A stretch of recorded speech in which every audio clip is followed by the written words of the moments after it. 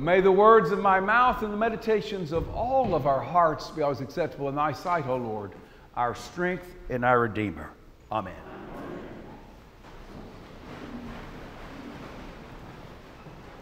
Leave it all on the field. Leave it all on the field. I would tell my team, teams inevitably, when we were leaving the locker room going towards kickoff, I'd always say to them, leave it all on the field. Don't pace yourself. Don't hold anything back. Risk it all for 48 minutes, which is the length of a Texas high school football game. Leave it all on the field. And if you don't, on Saturday morning, you'll be sitting on the sofa in the den regretting the fact that you held something back. Leave it all on the field. You ever heard that before? Flannery, I bet you have, being the fine football player that you are. Leave it all on the field. Of course, I was a very tender and understanding coach. Uh, uh, leave it all on the field. And Jesus, like a good coach, is walking out of the temple uh, with his team, the 12 disciples. And he essentially tells them the same thing. He has just had it up to here, uh, being confronted by first the Pharisees, then the Sadducees, then the scribes, and then every other know it all that wants to go toe to toe with him. He's had enough of these armchair quarterbacks that want to conduct business from the stands, that never really take the field and he says, This is not the way it can be with you. I'm telling you right now, you need to be ready because you do not know the day or the hour that the Lord will return. And you don't know the day or the hour that He will call you home. So, what I say to you, I say to all stay awake and risk it all. Risk it all. And so Jesus, like any coach worth his or her salt, says, and I have a story about that. And he says, there was a boss man, there was a boss man who was decided to go on a long vacation to the Bahamas. And he called his three best employees and he said, I'm going to entrust, I'm going to entrust the capital of the, of the business with you. And so to his most trusted employee, he gave five talents, which may not sound much to you, but that is a hundred years of wages for one of the line employees. A hundred years of wages. To the second, he gave two. He gave two talents, which is 40 years. 40 years of, of, of wages for a line employee. And for the last, the third most trusted, he gave him one talent, which is not chump change because it's 20 years of, of wages for a line employee. he says, Now, you know, do with it what I would do. And he goes off and sunbathes in the Bahamas.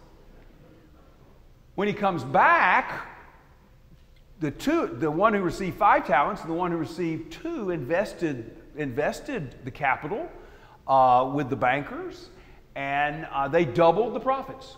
He said, Great.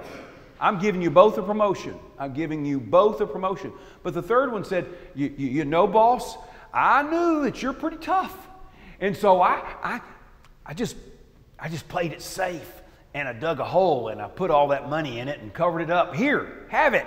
Oh, he dusted off first, but here, have it. and the boss says, Get out of my sight. Here's your pink slip. Hit the road. You don't have a place. You don't have a place in this establishment any longer. And then Jesus, after he tells the story, punctuates it with a very tough, with a very tough sentence. He says, To all who have, to all who have, much more will be given in abundance. But for those who do not have, even that will be taken away from them. To those who have, much more will be given in abundance. But to those who have have nothing, even that will be taken away from them. You say, Ooh, that doesn't sound like much like, oh, tender Jesus. Jesus is saying to you and to me and to the 12, there is no time to wait. The time is now to risk it all, to invest all that you have, to invest your whole being, so that you can, you can share in the exuberance and the abundance of the kingdom that Christ alone offers. If we decide not to do that, the more we don't do that, the more we kind of just hold life close like this, the more we are swept away by egotism, the more we'll see life completely ebb away altogether. Invest it all. Leave it all on the field. Leave it all on the field. So, what does that look like? What does that look like? Well, it looks like a buddy of ours. A buddy of mine and yours in the church um, taught me a lesson this week. Uh, now, you may know that Kay and I are trying to move from this our century old home into what I call an apartment but she calls a condominium. You know, we're moving into the micro quarters, all right? now, by the way, she has given away everything we own. I'm just glad that I'm still in the house. I mean, you know, you know, I'm glad there's still a place for me. But, you know, she has really cleaned things out. Boy, that woman is notorious. She's the most unmaterialistic human being on earth, you know. Uh, so, anyway, and so I'm trying to move things. Uh, we have one little storage room, room and we have, you know, and we have the condominium. And so I asked one of our good buddies to help me do some moving on Tuesday, which is my day off. And I wanted to get at it bright and early, you know, right? Bright and early. Well, he says, yeah, I can't be there. I can't be there until a little later. Well, I thought he meant like nine. When nine came and went, 10 came and went, then we're approaching 11. He finally shows up in his pickup truck. And I'm going, what's the problem? He goes, well, I had to take a friend of mine to the doctor. And I'm thinking to myself, couldn't somebody else do that? And the answer, of course, was no. His friend has, is a double foot amputee, okay? And he says, Pat, you know, he's hard to deal with. Number one, he, he is, uh, bears a lot of responsibility for the fact that he has had these amputations. And also, um, also, he's just very he's very, well, toxic. He's hard to get moving, he's mean. In fact, he says really, really rough things to me, even as I'm putting him in the car to take him to the doctor. And uh, I, asked the, I asked the obvious question so, so, why do you do it? Why, why do you do it? He, he looked at me kind of quizzically, like, Who ordained you?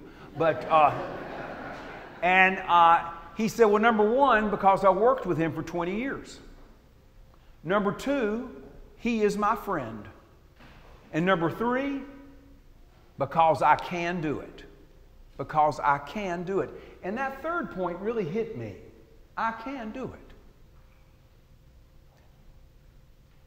The Lord has given me the grace, he says, to share it. And I've got it in me. And I can handle all the rough language. I can do it. That's what it looks like. You know, there was a there was Richard Carlson was a kind of a, a trendy business writer for a while, and he wrote a he wrote a book called um, called um, "Don't Sweat the Small Stuff," and it's all small stuff. I see Matt Bryant smiling back there. It was really a trendy book, you know. Don't sweat the small stuff, but it's all small stuff. Why not? I don't really like that title. I really like what Mother Teresa says. She says, There are no small acts, there's only small acts done with great love. There's only small acts done with great love. Look, folks, both you and I are, gonna, are not going to do anything, as far as I know, that's going to go down in a history book, right? But the Lord has given us the ability to do small things, to do small things in the, the field of our life. You know, um, maybe, maybe it's to call up a friend and, and help them along. Maybe it's to make that phone call or that we don't really want to make to a family member that hurt us long ago and we've been holding on to it. And the Lord says, You know what? It's, that's been sitting out here too long. Maybe, you know, I always intrigued by the number of people work at Sidewalk Saturday. And one of the first things you learn when you work at Sidewalk Saturday is the poor can be really tough. I mean, if you're looking for kind of sweetness and light, you need to think about something else because it can be tough because our lives are messy, and when you don't have anything, they're even messier, and so be it. There are no small acts. Just, yeah, this is her words. There's no small acts, just small acts done with extraordinary love. This morning. Do you believe that? It's true, isn't it? Just small acts done with extraordinary love. Um, so, how do we do it? How, how do we even start? We see what it, what it looks like. It looks like a friend who takes a very, um, very tough customer to the, to the, uh, to the doctor and, and bears with the bad language and everything. Um, but, but how do we do it? Well, the Bible tells us. In Hebrews, the 12th chapter, I think it's verses 2 and 3, the writer writes this, and I think this is worth remembering. He says, Keep your eyes on Jesus, the pioneer and perfecter of our faith, who, with the joy set before him, embraced the cross and scorned its shame, and now sits at the right hand of the Father. Consider him who suffered at the hands of sinful women and men, and you will not grow weary, and you will not lose heart. Whoa. Wow. My favorite piece in that whole, that whole scripture is that for the joy set before him, he embraced the cross. What do you think the joy is that was set before Jesus? It wasn't that he was going upstairs to kick back, you know, in a lounge chair with the Father. The joy set before him was that he was going to set things right for you and me with, the, with God. That's the joy. He was going to pave the way so you and I didn't have to worry any longer. He was going to pave the way to do the work we can't do. The work we can't do, He can do.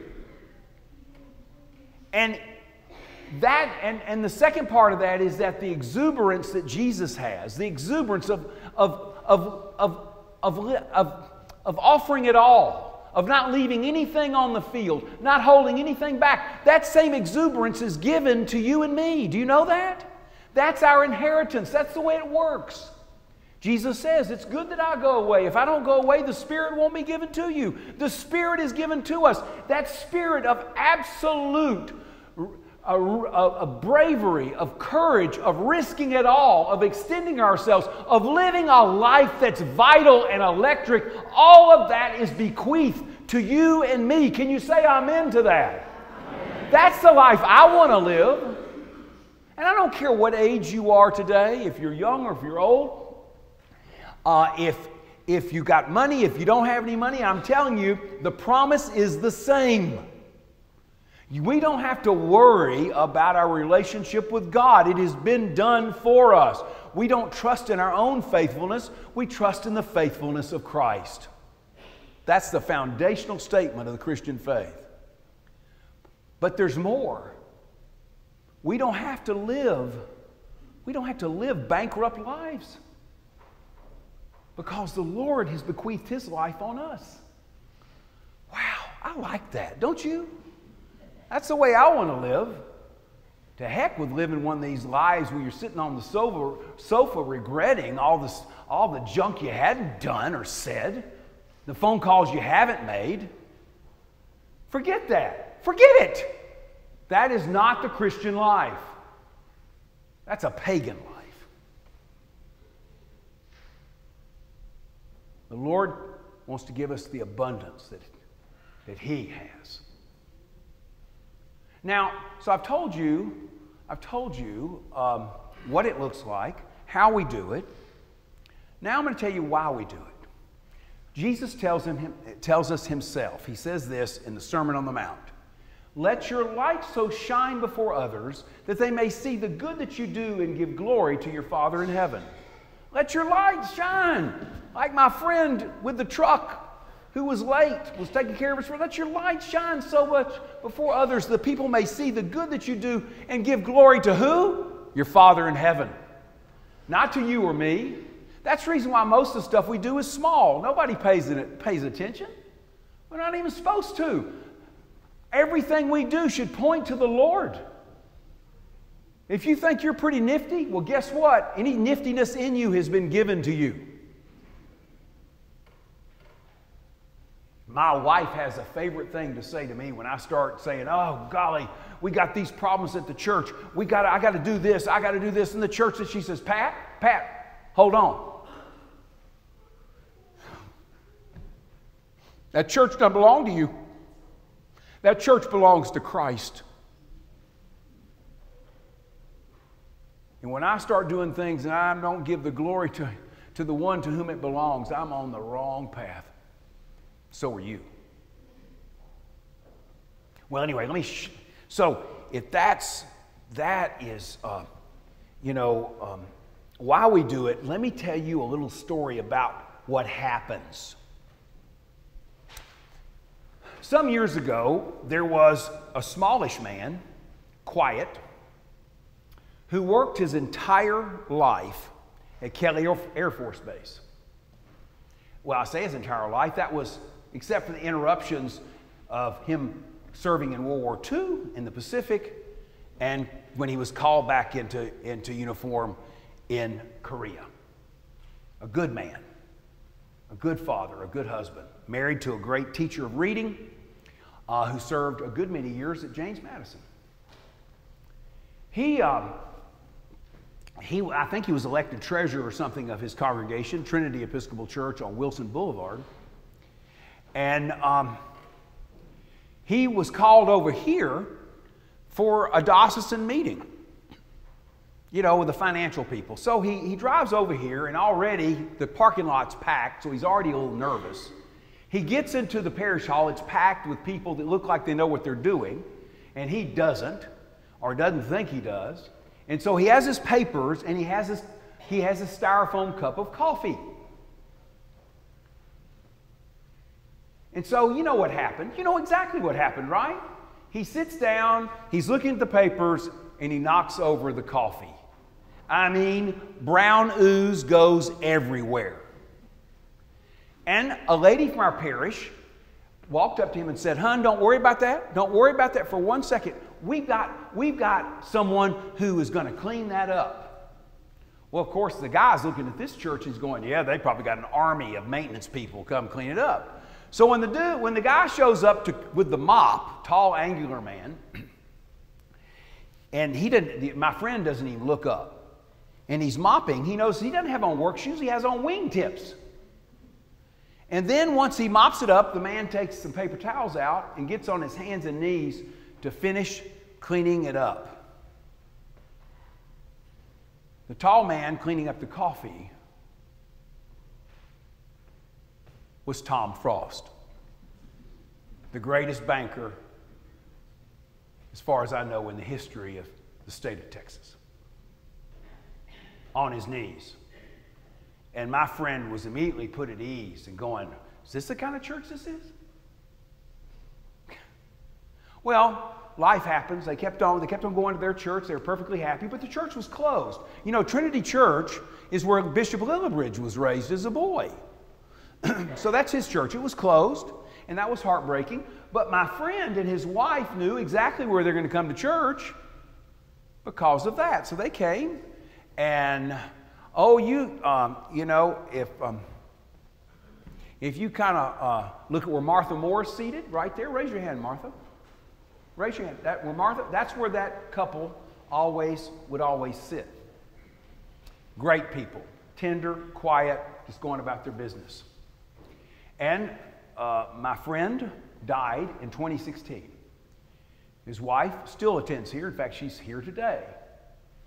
A very good friend of mine. And so life goes on.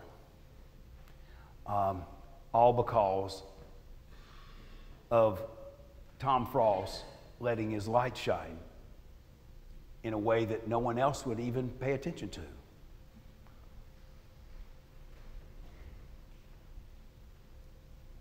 Oh, yeah. There's one other thing I need to tell you. That couple, that man who was so moved by the little thing that Tom Frost did? Three weeks ago, that man and his wife, the teacher, gave this parish $2 million to take care of the children in our parish and to take care of the children in the schools that we sponsor.